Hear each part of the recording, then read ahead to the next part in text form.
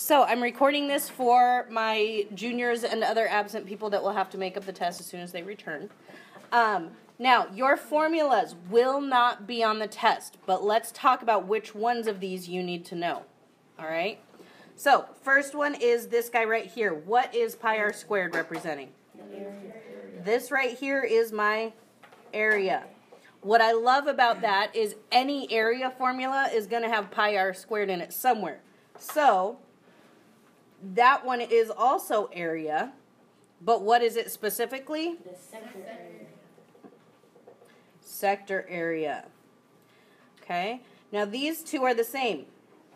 Why are they the same? Because 2r is the same thing as d, right? What is that representing?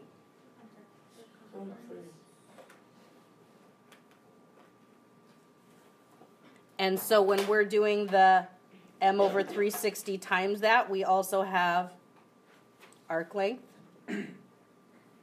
Oh. Because arc length is a part of the circumference, right? It's the crust of your pie piece. So to me, there's a lot of oh, and then there's this guy that I think that's just a distractor. It's not even a real formula. Um, to me, I feel like there's really only two formulas you need to know. Area is pi r squared, and circumference is 2 pi r. Because these ones, you're just going to put m over 360 in front of it if you're looking at a pie piece instead of the circle as a whole. Does that make sense? Okay, so what is the length of the radius in a circle with a circumference of 5 pi inches? So 5 pi is the circumference. I'm going to set that equal to one of my circumference equations. Now I can always set it equal to 2 pi r, it doesn't matter. If I want to use pi d, sometimes that can shorten my process. But I'm going to set it to 2 pi r because what am I looking for? The radius. So I need to get r by itself, so I'm going to divide by 2 pi. So that gets me r. Notice the pi's cancel out, and I have 5 over 2. Now, when you get to your test, I'm not going to want decimals. On the computer, it will specify. So the way you would type this in as your answer is you would type in 5 slash 2. That's how you would type in your answer. Okay? Question? Okay. So I'm going to be talking to you as I go through this about how you're going to be typing things in. All right? Um, a circle has an area of 100 pi square miles. Oh, let me step back for a minute. Number one, I am going to want the units in your answer. So you're going to type in 5 slash 2, then you're going to press space. That. Because we're talking about inches, I do want units. Okay. Okay? All right. Area is 100 pi square miles. What is the circumference? All right. So if that's the area, I'm going to set it equal to the area formula. And then I'm going to solve it to get r so that I can plug r into the circumference formula. So what am I going to divide by? Pi. So I get r squared equals 100. So what does r equal? 10 because I have to square root, correct? So the circumference would then be 2 times pi times 10, right? There's more steps? 2 pi r, uh huh. Because I just found the radius, but it's not asking for the radius. It's asking for the circumference. So I have to plug the radius back into my circumference formula right here. So what does that give me? 20 pi. Now, most of your tests, I think all of your tests, except maybe one question, asks you to leave it in terms of pi. So how do you type in 20 pi into the computer? You do this. 20 pi. Oh, okay. That's what you're going to type in. Easy enough? Yeah. PI. And those instructions will be at the top of the test. So it'll say type in PI for pi. Okay? Not PIE, but PI. Okay. Refer to this figure for uh, numbers 3 through 7. Leave your answer in terms of pi. Now, one other cautionary note I want to make for your test. We are going to have pictures. They're not going to look exactly like these. They're going to be the ones where, you know, how the arc is darkened, Yeah. but it might not be asking for arc length. It will have a picture. You have to read the instructions because your picture may look like this, but it might be saying find the area of the circle. Mm. In which case, the pi piece itself doesn't really matter. You just need the radius. Okay? Because we used the same image for several questions. So, one question it might say find the area, one question it might say find the sector area, one question it might say find the arc length. So, it's the same picture and it might look like you're supposed to find one thing. So, read the directions to make sure you're finding the correct thing. Make sense? Yeah. Okay. So, what is the circumference? Circumference is 2 pi r. 2 pi. What's the radius? Sorry, 6. I was doing the two, times 2 in my head already. So that gives me what? 12 pi. How am I going to type that into the computer? 12 pi. 12 pi what? meters.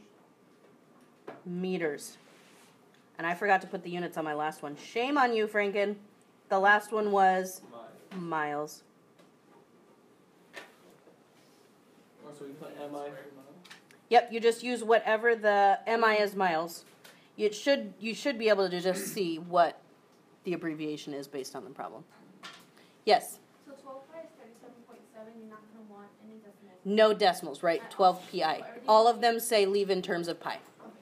I think there might be one question that says round to the nearest tenth, and it's a it's I think it's the clock problem. Oh, Um, but the rest of them are all in terms of pi. All right, what is the length of arc ZY? So I'm doing arc length now. Is that a part of the circumference or a part of the area?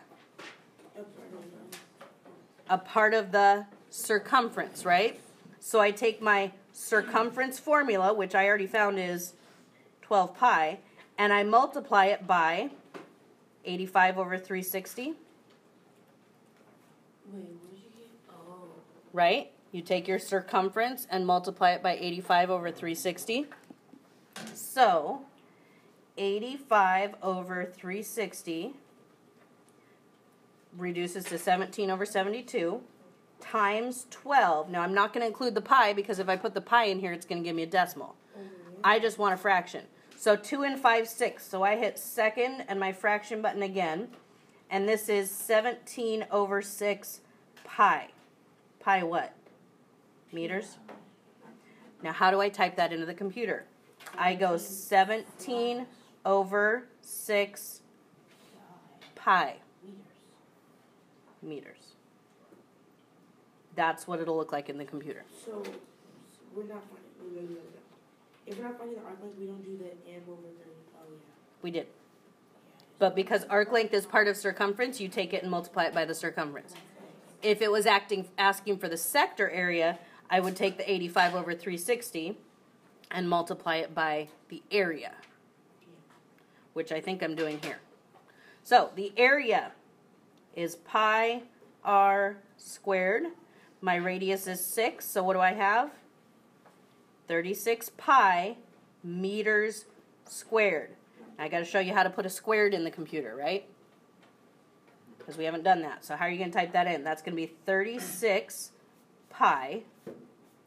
And then meters, you're going to hit the to the, I call that the to the button. That means whatever comes next is your exponent. Wait, can you show us again? M to the second. It is a button that should be above the six. It's one of those special symbols that's above the numbers on your keyboard. Okay? And again, at the top of the test, it says type in something to the squared by doing the little arrow and the squared, or and the two. Okay? That is a very common notation. In fact, on your calculator, that's your exponent button too. So it's the same symbol, and it can be found above the six on your keyboard. Capiche? So again, those instructions are at the top of the test, and you can always ask me also. All right? What is the area of the sector? So here's where I take the 85 over 360, and I multiply it by 36 pi, multiply it by the area. So 85 Times over 360 times 36 is 8.5. I don't want a mixed number, so I'm going to hit second in my fraction button, and I get 17 over 2 pi. Uh, hang on, I keep forgetting this. Meters squared, right? Anything area, sector area or circle area always has to have squared. So how would I type that in? 17 slash 2 pi m arrow 2. Okay? Now this is actually handy for you because this is very common notation on computers. Okay? Anybody that knows anything about typing anything in math, like when you get to your state testing and stuff, if you can't find an exponent button, you can always use that. It's a very commonly known thing. Question? Yeah, was it, you want a space between the units? Between pi, Um. Yeah, a space here, you don't need to put a space there. Okay? All right, what is the measure of angle x in radians? So this is still with regards to that previous one. So that's asking me to take 85 degrees and change it to radians. How do I do that? Multiply by pi over 180. Well, that's 85 over 1. That gives me 85 pi over 180 go to my calculator, and if I type in 85 fraction button 180, it will reduce it for me 17 over 36. So I have 17 pi over 36. Um, and that's radians. I don't need to say radians or anything. How would I type that in? 17 slash 36 pi. And there's no units on that. Okay? You don't need to worry about units on the radians and degrees problems. Degrees, there's no easy way to get that symbol in. Okay? All right, the measure of angle A is 48 degrees, so we're no longer looking at this circle. We're in a completely different problem. The measure of angle A is 48 degrees. What is the measure of angle A in radians? So I need to take 48 degrees and change it to radians, which means I need to multiply it by pi over 180. What does that give me? 48 pi over 180. So 48 over 180. That gives me 4 pi over 15. So I would type into my computer 4 slash 15 pi. Yeah? We good with that? All right. The minute hand on an analog clock. This is what I'm referring to when I say the clock problem. This one, I believe, is a decimal answer. Okay. Um, the minute hand on an analog clock is seven inches long. What does that piece of information tell me? Radius is seven. How far does the tip of the remaining of the minute hand travel as the time goes from 7:35 to 7:54? How many minutes is this? 19 minutes. How many minutes are on a clock total? 60. 60. So my fraction is going to be 19 out of 60. Does that make sense? Why is it not 19 out of 360? Because the clock is not divided into degrees, it's divided into minutes. Okay? Uh, now, each minute does represent a certain amount of degrees, but we don't go there on a clock. We just talk about minutes. Um, am I talking about sector area or arc length? Arc length. When I'm talking about how far it moved, I'm talking about arc length. So that means I put what in here, the circumference or the area? Circumference, because arc length is a part of the circumference. So that would be 2 pi r. Yeah? So in other words, I have 19 over 60 times 14 pi. So let's see. Again, ignoring the pi on my calculator because it's just going to give me decimal. Actually, this is the problem where decimals are okay, right? So 19 over 60 times 14 is that times pi. Now it's going to give me the decimal. 13.9 what? What's my unit of measure? Inches. Inches. So that I would type that one out just like that. That's the one where I put a decimal. Only that one, and it will say rounded off to the nearest. Yeah. Sophia, So if we were to put fourteen in the computer, would it be marked wrong? um, I would prefer you not because if it says round to the nearest tenth, I do need to see that tenth there. Yeah. Okay. All right. For find the circumference and the area. Leave your answer in terms of pi. All right. Circumference is well. First off, this is my diameter. So what's my radius? Six. So circumference would be two times pi times six, which is twelve pi. Right? How do I type that into the computer? 12 pi. And area would be pi times r squared. So what is that? 36 pi. So 36 pi. Um, I do need to put inch or um units though. So this is centimeters. So this would be 12 pi cm. This one would be 36 pi cm arrow 2 because it has to be centimeters squared. What? Oh. Because area is the centimeters squared, so you got to remember that guy. Okay?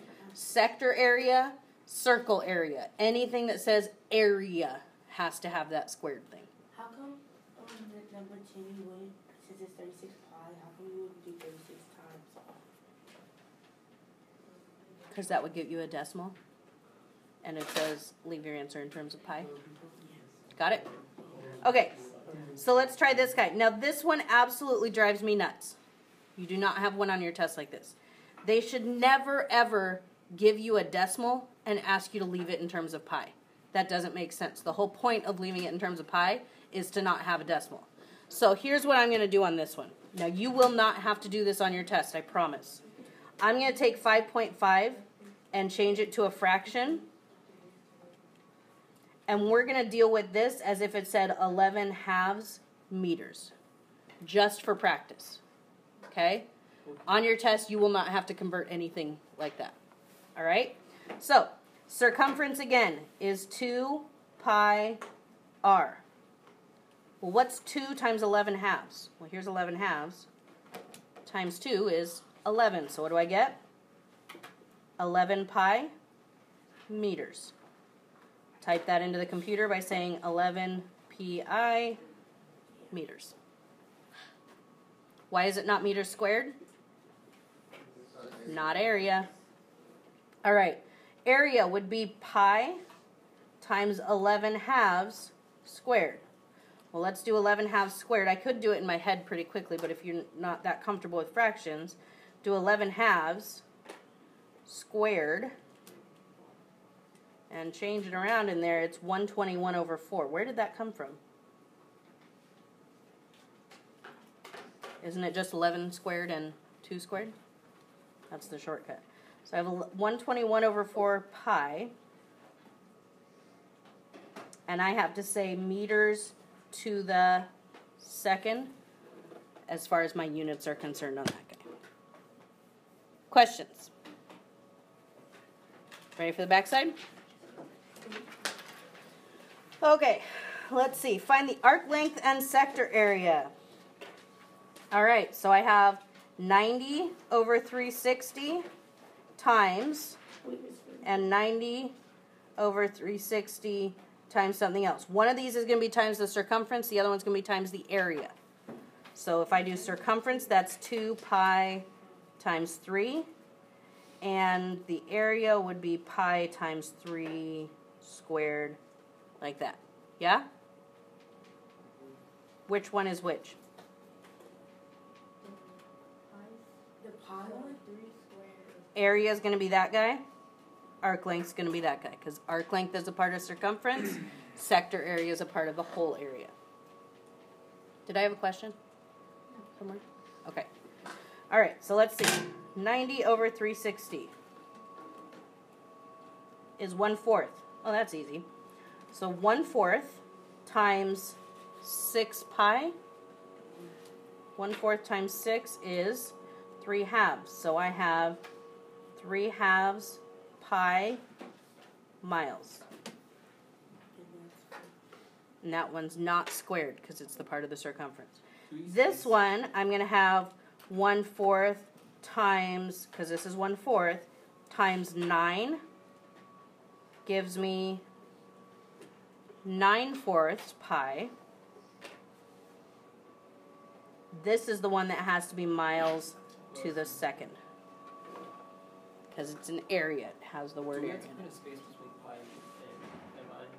It's easier for me if you do. So yeah. That would be my preference. Okay? All right, same thing here. 60 over 360 times 2 pi r and 60 over 360 times pi r squared. So, let's see what 60 over 360 is. Anyone know? 1 sixth times 2 times 6 is 12. I get 2 pi. That's what one, my arc length or my sector area. Circumference goes with arc length. So I have 2 pi meters. How should we do 60 over 360 Right. is 1 sixth. Times 2 times 6 gives me 2. Oh. Okay? Or you could just do it times 12 because 2 times 6. That's What if you accidentally put two pi over one? That's fine. That means the same thing. Um, okay, sector area. So this is going to be 60 over 360 times what? 36. And that gives me, sorry, I did that wrong on my calculator. 60 over 360 times 36 is 6 pi meters to the second. Get it? Okay, let's do this last one here. Arc length. Now, this one, do you notice that it's the big sector that's being colored in? So I have 300 over 360. Arc length will be times 2 times pi times 5. And area will be times pi times 5 squared. So let's see. 300 over 360. I think that's 5 6. Yep. Times, for arc length, I'm going to have times 10. And that gets me 25 over 3 pi what? Kilometers. Mine came out as A3U. How do I get it to go to the Hit second second? and then your fraction button again and then enter.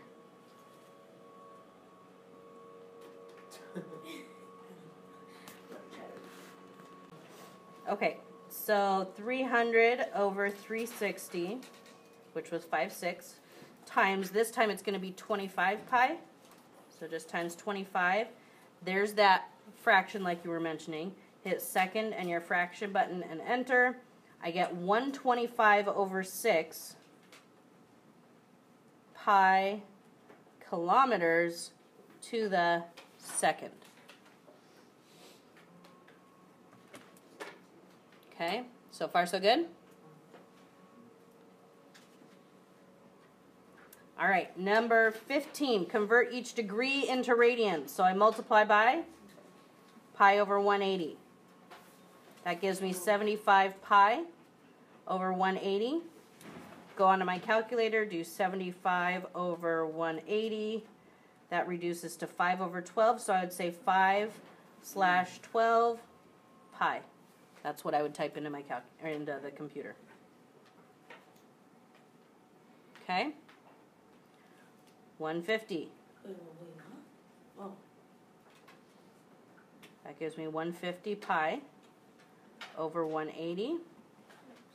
150 over 180 is 5 sixths. So I have 5 slash 6 pi. Easy peasy. No units needed on those ones. Same thing with the degrees. How do I convert radians to degrees? Multiply by 180 over pi. So that gives me something where the pi's cancel out. That's a good thing because you don't want pi's in degrees. So 7 times, oops, 7 times 180 is 1260 over 4. So 1260 divided by 4 on my calculator is 315 degrees. And you would just type in 315. Easy peasy? Easy as pie. Ha, ha. Uh, um, times 180 over pi. And you see the pies are going to cancel again. So I have 180 over 12. And again, if you get a fraction, leave it as a fraction. I don't believe you should get a fraction on these guys, though. 15, and don't worry about the degree symbol, too hard to type it. Okay? So far, so good? We don't have to put pi on that one? No, because your pi canceled out. Yeah. Oh, yeah, okay. Degrees don't usually have a pi, only radians do. All right, the circles are concentric. What do we know about concentric circles? Oh, these will. We know that the radius of the small over the arc of the small is equal to the radius of the large over the arc of the large. Right? Radius of small over arc of small equals radius of large over arc of large. So what do I have? I have 32x equals, just cross multiplying here, 1440 divide by 32 and x equals 45 you don't need the x equals just put 45 what inches that's what you would write for your answer Wait, so it's what's the formula for this? small radius over small arc equals big radius over big arc Small radius over small arc, big big. it's just radius over arc equals radius over arc but you have to keep your circles together so one has to be big. yeah Wait, Yeah. wait, wait. Can you repeat that one more time? it's just radius over arc but each fraction has to be each individual circle So one fraction has to be both small measurements, one of them has to be both big measurements. So the twenty is the small radius? Small radius R. over small arc, big radius over big arc. Okay? So what's that going to look like here? Small radius, 12 over small arc equals big radius over big arc. Don't know it. So 12x equals 30 times 10.2 is 306. Divide by 12. And I get 25.5 meters. And again, if that one allows decimals, it will say so in the instructions, or you can ask me and I can clarify it for you. Okay? All right, last two questions, more clock questions. So we did a clock question on the other side, right here. We find out the minutes, put it over 60, and multiply it by the circumference. So here's my radius. So I have something times 2 times pi times 5. And let's see, how many minutes are we talking about? 11, 13, 23, 33, 43. That would be 30 minutes. Thirty over sixteen. So 30 over 60 times what? 2 times 5 is 10. I get 5 pi. This is the one where we need decimal though, right? So times pi, I would type in what? 15.7 what? So we can't have a decimal? Inches. It will say in the instructions. Yeah. This is the one that you can do the inches on. Okay? All right, last one. The minute end of a clock is 9 inches, so something times 2 times pi times 9. And it'll say this to the nearest tenth of an inch. That's how I know I can use decimal in my answer. How far does the tip of the minute hand travel? As the time progresses from 727 to 742. 27, 37, 38, 39, 40, 41, 42. That's 15 minutes, I think. Yeah? Yeah. So 15 over 60 is one fourth times 2. Well, I can do that easier. Uh, 15 over 60 times 18 pi times 18 pi, and I get 14.1 inches. And I would just type it in like that. Okay? All right, you ready for this? Oh, yeah, we have to